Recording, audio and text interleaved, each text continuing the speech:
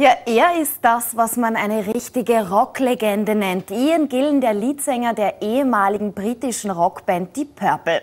Statt mit verzerrten Gitarren und mit bis zum Anschlag aufgerissenen Verstärkern rockt er heute mit Stil zusammen mit 85 Damen und Herren des Bruckner Orchesters Linz.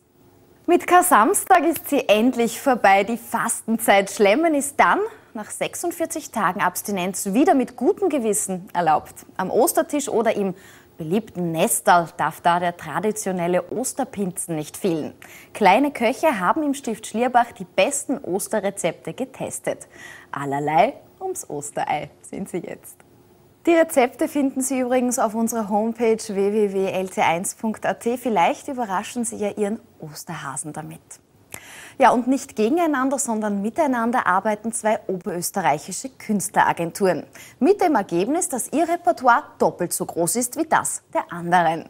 Einen Auszug daraus gab es im Linzer Casineum. Von Josie Prokopetz über Taitender bis zu den Artisten von Fantasie à la carte reichte die Bandbreite ihres Könnens. Durch den Abend führte übrigens Ingrid Thurnherr. Ja, selten war ein Talkgast so ehrlich wie Christine Schubert. Mit Nina Kraft plauderte die Schauspielerin über ihre ersten Erotikszenen, über ihr ewiges Single-Dasein und warum sie heute zu keiner einzigen VIP-Veranstaltung mehr eingeladen wird. Hm. Ja, das war's für heute. Im Namen von Technik und Redaktion ein herzliches Dankeschön fürs Einschalten. Ich hoffe, Sie sind beim nächsten Mal wieder mit dabei und an dieser Stelle auch schon von mir frohe Ostern, eine gute Zeit. Auf Wiedersehen.